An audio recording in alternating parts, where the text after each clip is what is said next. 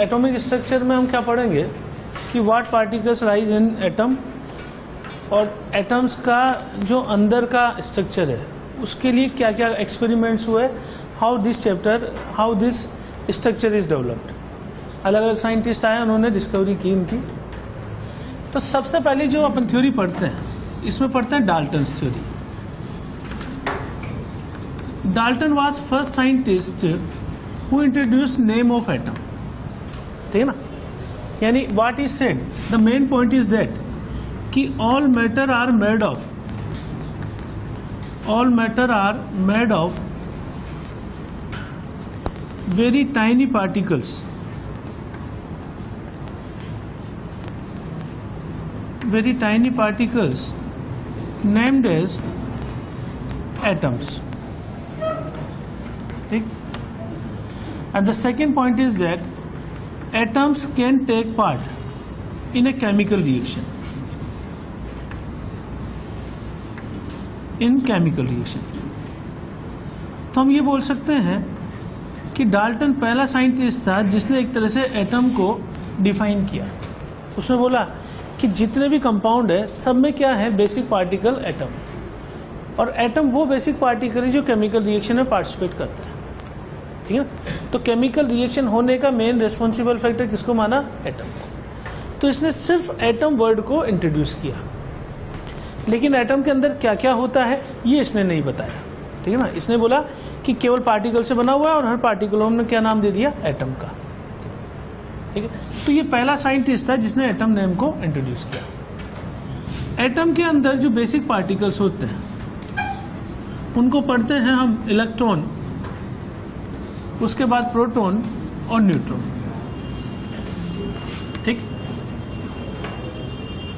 Electron का representation हम कैसे करते हैं? ई प्रोटॉन का पी और न्यूट्रॉन का एन अगर हम चार्ज के बारे में बात करें तो चार्ज इस पे लेते हैं वन माइनस ई इस पे प्लस ई और इस पे चार्ज ज़ीरो चार्ज में कितना लिख सकता हूँ इसे? 1.602 point six zero two into ten to the power minus nineteen coulomb.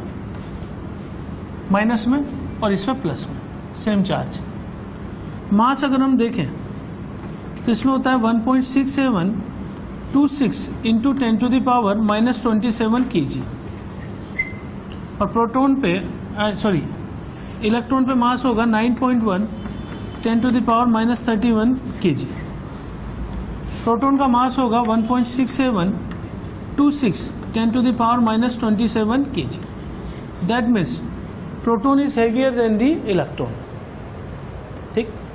Neutron का मास कितना होगा? 1.67 49 into ten to the power minus twenty seven K G तो फॉर न्यूमेरिकल कैलकुलेशन हम दोनों को बराबर मान के करते हैं।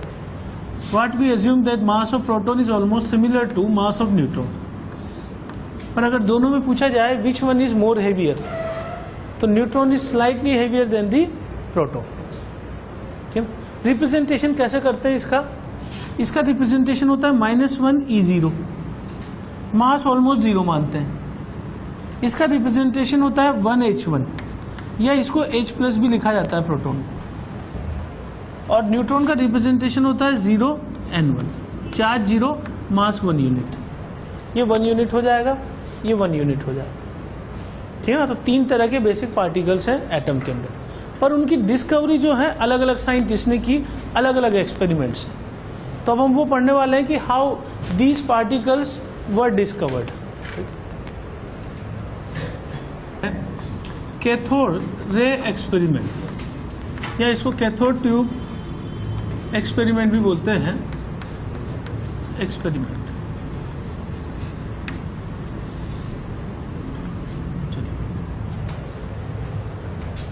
अब कैथोड ट्यूब एक्सपेरिमेंट जो है, इसका क्रेडिट जाता है by J J Thomson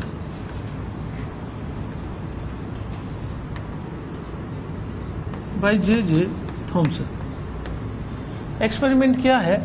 कि one glass tube is taken ठीक है? इस ग्लास ट्यूब में हमने दो यहाँ पे इलेक्ट्रोड लगा दिए। Electrode means plate and these two plates are connected with external source of battery इस तरीके से। In this tube gas is filled at low pressure gas at low pressure pressure ठीक? अब क्या होगा कि as soon as electricity supplied what is the direction of electricity from plus to minus तो ये डायरेक्शन तो मैं लिखूँगा करंट का। और माइनस जो एंड है, इससे उल्टा इलेक्ट्रॉन का डायरेक्शन ठीक है? तो नेगेटिव प्लेट से जो बैटरी की नेगेटिव प्लेट होती है, उससे इलेक्ट्रॉन फ्लो करते हैं। इलेक्ट्रॉन इस एंड पे आएँगे और हम ये मान लें कि इलेक्ट्रॉन यहाँ से यहाँ पहुँच रहे हैं, क्योंकि ये प्लेट जो नेगेटिव टर्मिनल से जुड़ी हुई है, इसको हम बोलते हैं कैथोड प्लेट ठीक? और जो पॉजिटिव एंड से जुड़ी हुई है, इसको हम बोलते हैं एनोड प्लेट ठीक? और यहाँ पे हम रख देते हैं जिंक सल्फाइड स्क्रीन, जिसको अपन इस तरीके से बना लेते हैं। This is zinc sulphide screen. अब हुआ ये कि जैसे ही जिंक सल्फाइड स्क्रीन रखी और हमने बैटरी को ऑन किया, ठीक है? तो यहाँ पे ऐसा हुआ कि फ्लोरोसेंस जनरेट हुआ, चमक जनरेट हुई। किस पे? जिंक सल्फाइड स्क्रीन तो किसी स्क्रीन पे आके चमक हो रही है, फ्लोरोसेंस हो रहा है इसका मतलब कोई पार्टिकल हो सकता है आके इससे टकरा रहा हो। ठीक है ना? तो क्या माना गया कि यहाँ से इनविजिबल रेस निकल रही है। ठीक है? और वो इनविजिबल रेस यहाँ आके टकरा रही है। अब इनविजिबल रेस कहाँ से निकलती हुई लग रही है हमें? कैथोड ट्यूब से कैथोड प्लेट से। तो इसलिए उन रेस को क्या नाम दे दिया? कैथोड रेस और कैथोड रेस की क्या खासियत थी? कि कैथोड रेस जो है हमेशा पॉजिटिव प्लेट की तरफ़ मूव करती थी। तो फिर क्या माना गया कि कैथोड प्लेट जो है, वो किससे मिलके बनी हुई है? कैथोड ट्यूब जो है सॉरी कैथोड रे किससे मिलके बनी हुई है? नेगेटिव पार्टिकल से। और उसी नेगेटिव पार्टिकल को हमने क्या नाम दे दिया? इलेक्ट्रॉन तो इलेक्ट्रॉन की डिस्कवरी कैसे हुई? By discovery of cathode rays बात को दोबारा समझ लीजिए कि जैसे हमने इलेक्ट्रिसिटी सप्लाई की तो यहाँ से इनविजिबल रेज आई और यहाँ पे फ्लोरोसेंस जनरेट हुआ, जिंक सल्फाइड स्क्रीन पर। जिसको देख के हमने बोला कि यहाँ से रेज आ रही है। कहाँ से आ रही है? कैथोड प्लेट से। तो उनको नाम दे दिया cathode rays and cathode rays are attracted towards positive plates they must be consist of they must be made of negative particles they were later called as electrons ठीक? नोट कर लीजिए diagram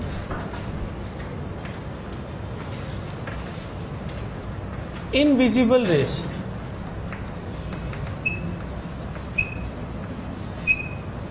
Moving from cathode to anode.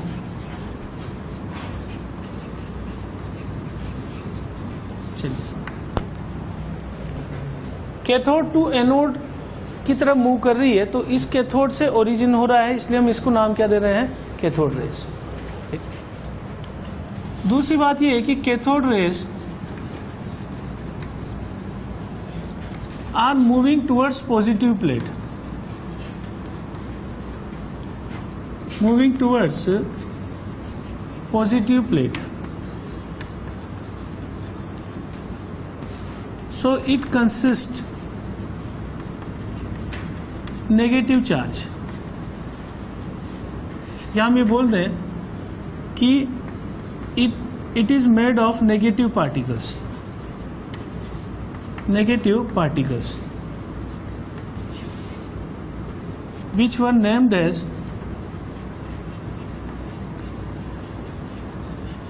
electrons. ठीक? अब cathode rays की क्या खासियत है? कि कैथोड रेस कैथोड रेस की जो खासियत है कि cathode rays have mechanical energy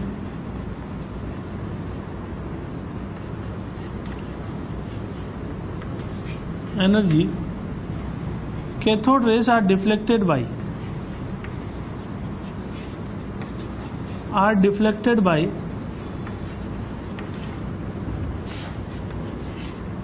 electric field and magnetic field electric field and magnetic field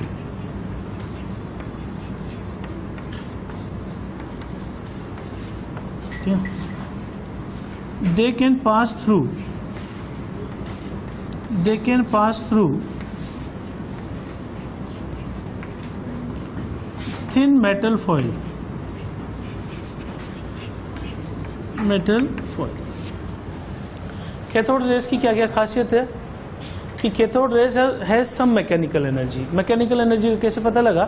कि इनके पाथ में एक पैडल रख दे मैकेनिकल पैडल तो व्हील को ये रोटेट करवाने लग जाती है। जैसे वाटर जेट को अपन व्हील पे डालें तो व्हील रोटेट करता है, वैसे ही कैथोड रेस किसी व्हील को रोटेट करवा सकती है। That means it has some mechanical energy अगर हम इलेक्ट्रिक फ़ील्ड से गुजारे प्लस और माइनस से तो it will deflect towards positive plate तो ये डिफ्लेक्ट होगी as it is same as for mechanical field magnetic field they can pass through thin metal foil यानी मेटल फॉइल बीच में रख दे तो इससे ये थ्रू पेनिट्रेट कर जाएगी, बाहर निकल जाएगी। ठीक?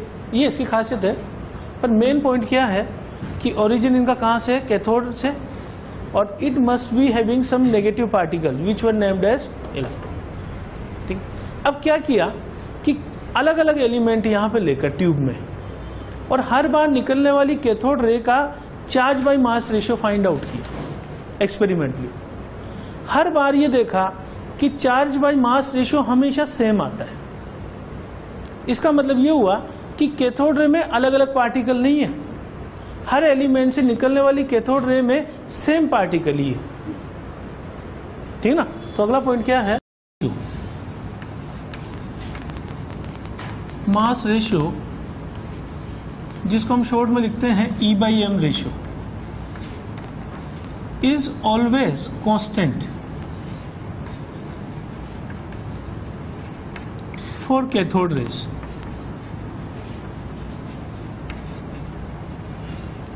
irrespective of type of gas filled in the tube gas में यहाँ कोई भी गैस हम भर दें, उस पर डिपेंड नहीं करेगा charge by mass ratio E by M ratio हमेशा कितना आता था इसका?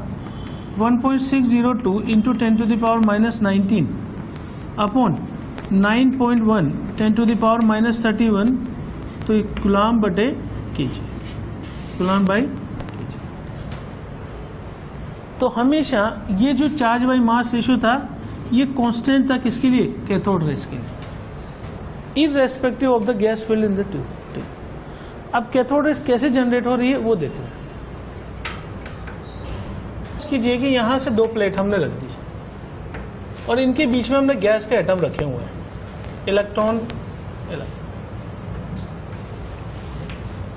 अब होगा ये कि जब हम इसको एक्सटर्नल सोर्स ऑफ़ बैटरी से कनेक्ट करेंगे तो इलेक्ट्रॉन यहाँ से यहाँ पहुंचेगा। और जो इलेक्ट्रॉन यहाँ से निकलेगा वो इस एटम को हिट करेगा और इसका जो इलेक्ट्रॉन यहाँ मूव कर रहा है, इसको यहाँ से ये बाहर निकाल देगा। तो इस तरीके से इलेक्ट्रॉन जो है, इस प्लेट तक पहुँचने लग जाता है। यानी डायरेक्ट यहाँ से यहाँ नहीं पहुँचता है। गैस जो बीच में रखी हुई हमने this electron will be use to ionize this gas ionize का मतलब ये हुआ कि मान लीजिए ए एटम है तो A atom converts into A plus plus electron किसी गैस को आयोनाइज करने का मतलब ये है कि मान लीजिए हमने उसमें इलेक्ट्रॉन निकाल दिया तो कैटाइन बना देगा वही। तो होगा ये कि इन इलेक्ट्रॉन्स के पास करने की वजह से जो गैस यहाँ पे हमने रखी हुई है, उस गैस के एटम आयोनाइज होने लग जाएँगे। आयोनाइज मीन्स कि वहाँ से इलेक्ट्रॉन निकल गया और वो कैटाइन बच गया ए प्लस अब ये जो इलेक्ट्रॉन है, ये इलेक्ट्रॉनिक किस प्लेट की तरफ़ भाग रहा है? पॉजिटिव प्लेट की तरफ़। ये नेगेटिव प्लेट ये पॉजिटिव प्लेट पॉजिटिव की तरफ़ भागेगा तो cathode rays are made of cathode rays are made of electron ये पता लग गया? प्लस ये भी पता लग गया कि सभी पार्टिकल में जो इलेक्ट्रॉन होते हैं, वो आइडेंटिकल होते हैं। अगर आइडेंटिकल नहीं होते तो चार्ज बाई मास रेशियो हमेशा डिफरेंट आता। पर चार्ज बाई मास रेशियो हमेशा कांस्टेंट आता है।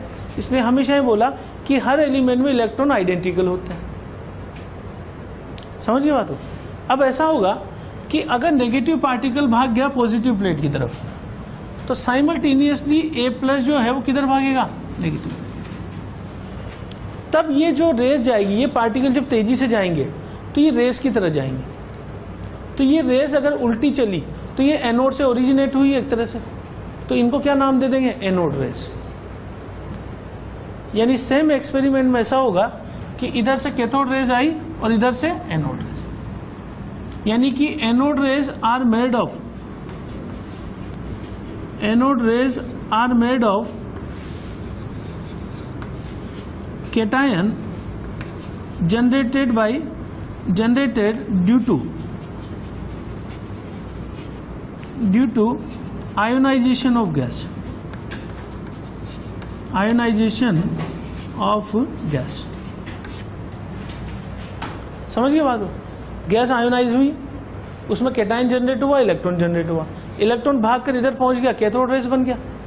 और केटाइन भाग कर इधर पहुँचा एनोड रेस बन तो सेम एक्सपेरिमेंट में हमें डिस्कवरी बाद में, काफ़ी टाइम बाद डिस्कवरी किसकी हुई? एनोड रेस की। अब एनोड रेस की जो प्रॉपर्टी है, वो बिल्कुल आइडेंटिकल है। दोनों में फ़र्क क्या हो गया?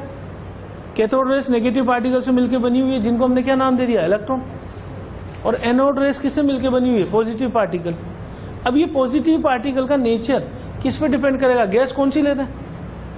अगर ये हाइड्रोजन हुआ तो ये H प्लस होगा। हीलियम हुआ तो हीलियम प्लस लिथियम हुआ तो लिथियम प्लस हर केस में चार्ज बाई मास रेशियो अलग होगा। इसका मतलब ये हो गया कि बेसिक डिफरेंस इनमें कैथोड और एनोड रेस में क्या है? कि कैथोड तो नेगेटिव पार्टिकल से बनी हुई और एनोड पॉजिटिव है। एक डिफरेंस तो हो गया। दूसरा जो मेजर डिफरेंस हो क्या है कि ये इलेक्ट्रॉन तो सब में सेम है। तो कैथोड रेस के लिए E by M ratio does not depend on the type of gas but anode rays में it depends on the type of gas filled in the tube ठीक है तो ये पॉइंट मैं आगे लिखता हूँ। Anode rays anode rays were discussed by Goldstein by Goldstein. Discovered by Goldstein. और इसका पहला पॉइंट तो ये है कि they are invisible rays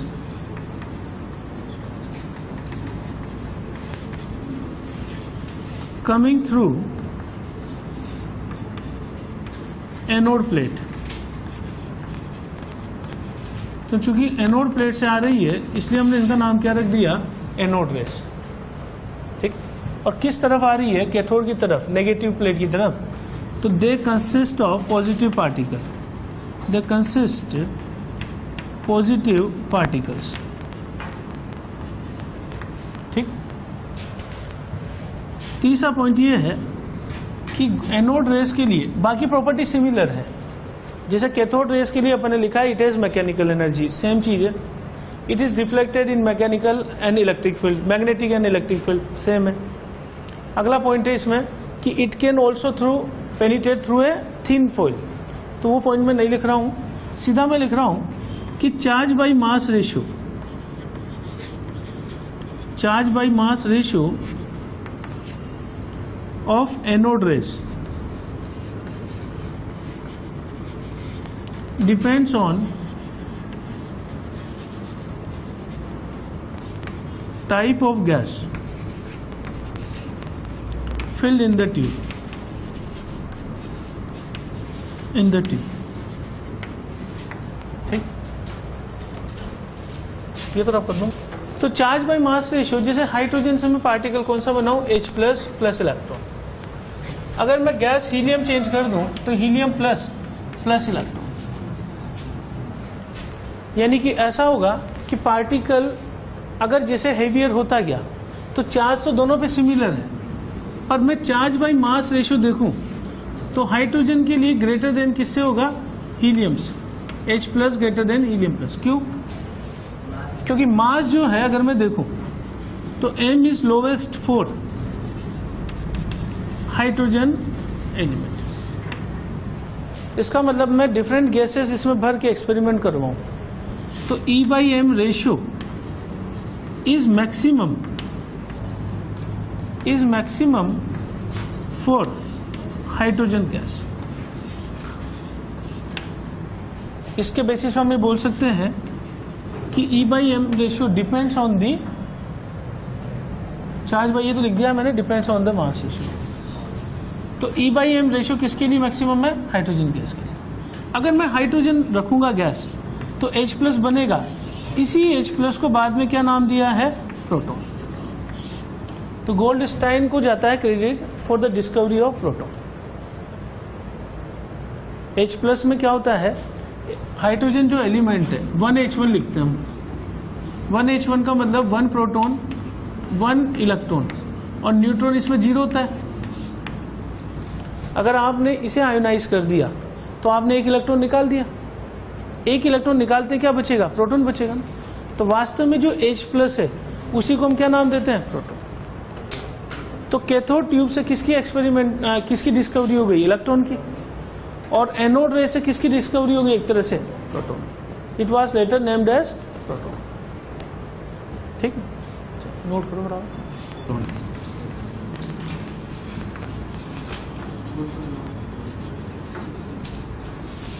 कैसे हुई कि ड्यूरिंग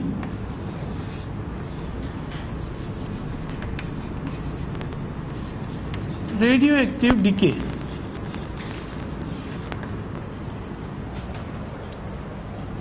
जैसे फॉर एग्जांपल मैं लूँ फोर बेरिलियम नाइन इस पे अगर बॉम्बार्डिंग ऑफ़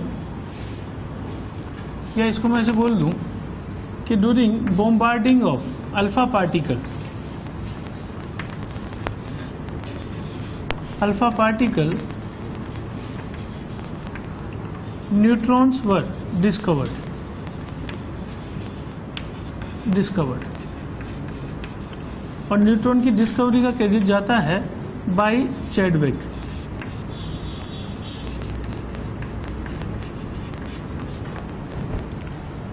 अल्फ़ा पार्टिकल हम बोलते हैं टू एच ई फोर को। और इसकी बॉम्बार्डिंग की बेरिलियम एटम पर इससे बना six C twelve plus zero N one इसी पार्टिकल को क्या नाम दिया है? न्यूट्रॉन कंक्लूजन पता लग गया आपको? कैथोड रे एक्सपेरिमेंट से इलेक्ट्रॉन का पता लग गया। एनोड रेस से मुझे प्रोटॉन का पता लग गया। और बाद में जब बॉम्बार्डिंग अल्फ़ा पार्टिकल पे हुई it was done by Chadwick neutrons were discovered bombarding alpha particle की किस पे की? बेरिलियम पे। और इससे कार्बन बना और साथ में एक पार्टिकल निकला, जिसका चार्ज ज़ीरो था और मास वन था वन यूनिट तो इन पार्टिकल्स को अपन ने क्या मान लिया? Charge on electron is measured by Mulliken scientist और मुलिकन ने कौन सा एक्सपेरिमेंट किया? ऑयल ड्रॉप एक्सपेरिमेंट ठीक? What it did he measured charge on each drop of oil and found that charge on each drop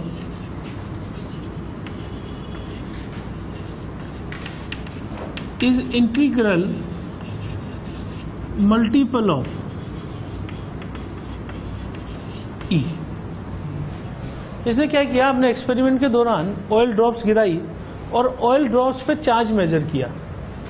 तो charge इसने major किया तो वो देखा इसने कि it is Q is equal to N into N is any integer number और ये जो स्मॉलेस्ट चार्ज है स्मॉलेस्ट चार्ज जो है, इसको इसने नाम दिया ई e. इसका मतलब इसने बोला कि सबसे जो छोटा चार्ज हो सकता है, वो ई e हो सकता है। और इलेक्ट्रॉन सबसे छोटा नेगेटिव पार्टिकल है। तो उसने इलेक्ट्रॉन पे चार्ज कितना बोला? E e. और ये ई e इसने कितना मेजर किया था? 1.602 10 to the power minus nineteen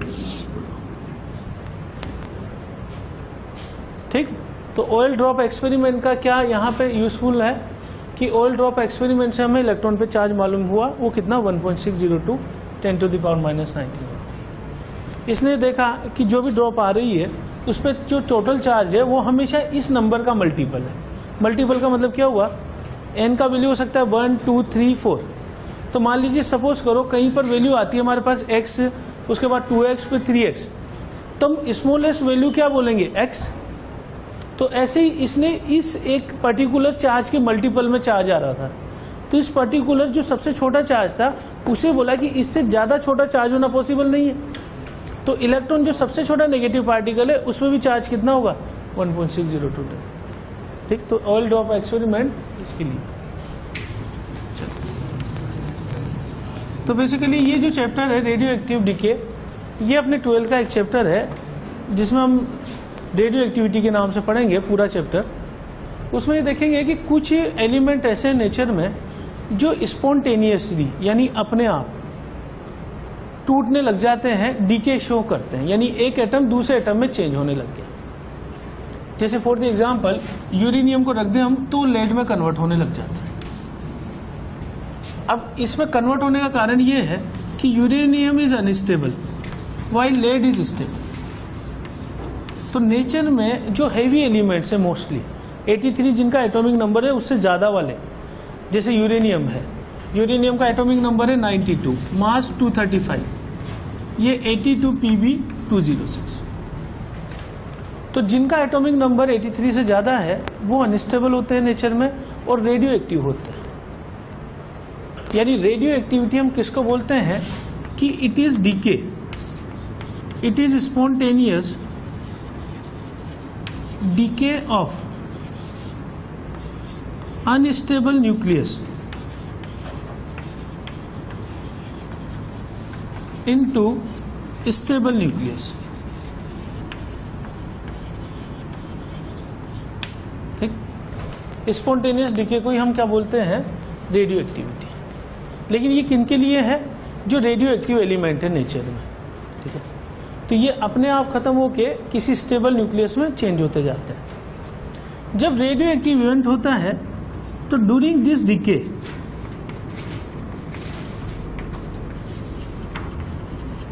alpha beta and gamma emissions are there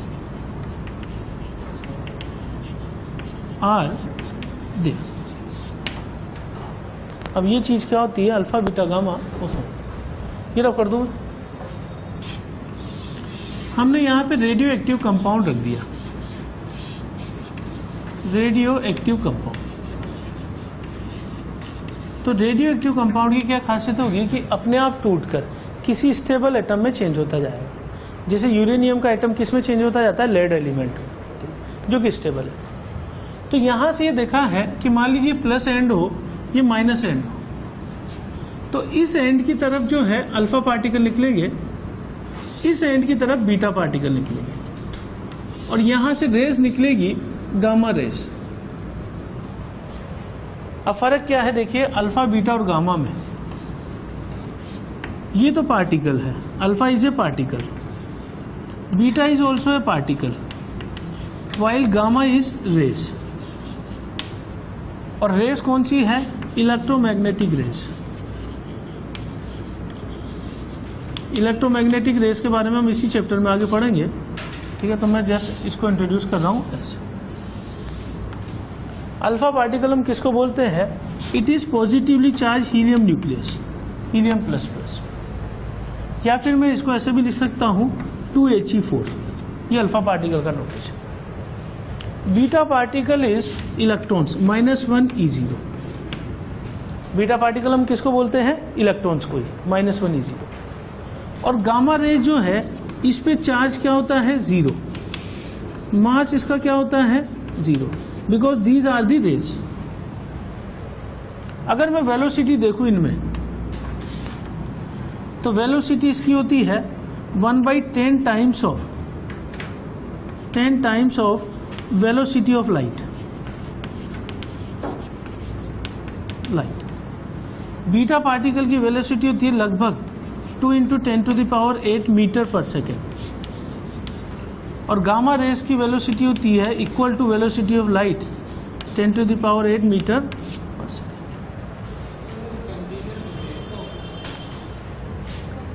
container उसका तो कोई वो नहीं है। कंटेनर तो स्टील का बना सकते हो आप कंक्रीट का बना सकते हो।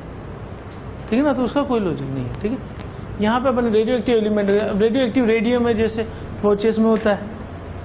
ठीक है ना? तो उससे कोई मतलब नहीं ना? वो तो अगर आपने एटम रख दिया कार्बन 14 अपनी बॉडी में भी है प्लांट्स में है कार्बन 14 जो अपने आप खत्म होता जाएगा। ठीक है ना? तो उससे को तो मतलब ही नहीं है कि यहाँ कंटेनर कौन सा है। ये बात समझ में आ गई ना सबको? जब भी रेडियो एक्टिव डीके होगा, यानी जब यहाँ पे मैं बोल रहा हूँ कि यूरेनियम से लेड बन रहा है तो यहाँ पे अल्फ़ा पार्टिकल भी निकल रहे हैं बीटा पार्टिकल निकल रहे हैं और गामा रेस निकल रहे हैं। गामा रेस मीन्स एनर्जी, एक तरह से एनर्जी को रिप्रेजेंट करता है। तो साथ में एनर्जी निकल रही है और दो तरह के पार्टिकल निकल रहे हैं। दो तरह के पार्टिकल कौन कौन से हैं? Alpha, beta. अल्फ़ा किधर डिफ्लेक्ट हो रहा है? नेगेटिव प्लेट की तरफ़। यानी कि इसमें चार्ज कौन सा होना चाहिए? पॉजिटिव। बीटा किधर डिफ्लेक्ट हो रहा है? प्लस की तरफ़। तो कौन सा चार्ज होना चाहिए? नेगेटिव। और रेस गामा निकल गई अनअफेक्टेड इसका मतलब ये न्यूट्रल होगा। चार्ज इस पे क्या होगा? ज़ीरो। अल्फ़ा पार्टिकल हम किसको बोलते हैं? हीलियम न्यूक्लियस को। बीटा पार्टिकल इलेक्ट्रॉन्स को। Gamma is rays. ये रे क्या कहलाती है? Electromagnetic rays. Travels with the velocity of light three into ten to the power eight metre per second. Alpha की velocity one by ten times of velocity of light और beta की velocity velocity of light से थोड़ी सी कम। Two into ten to the power eight metre per second. अगर हमसे ये पूछा जाए कि पेनिट्रेशन पावर का ऑर्डर क्या होगा? तो पेनिट्रेशन पावर सबसे ज़्यादा किसकी होगी? Alpha less than beta less than gamma rays क्यों? क्योंकि वेलोसिटी सबसे ज़्यादा किसकी है? इसकी। तो अगर कहीं पर थीन फॉइल रख दें तो सबसे इजीली पेनिट्रेट कौन सी करेगी? गामा रेस अगर हमसे पूछा जाए आयोनाइजिंग पावर तो आयोनाइजिंग पावर का ऑर्डर होगा alpha greater than beta greater than gamma कारण क्या है? क्योंकि गामा तो न्यूट्रल है। आयोनाइज करने की पावर उसकी ज़्यादा होगी, जिसमें चार्ज ज़्यादा होगा। हीलियम पे कितना चार्ज है? अल्फ़ा पार्टिकल है प्लस टू और बीटा पे माइनस वन तो चार्ज इस पे ज़्यादा होने की वजह से ionizing power of alpha is more than the beta ठीक? यही रोक रहे हैं आज।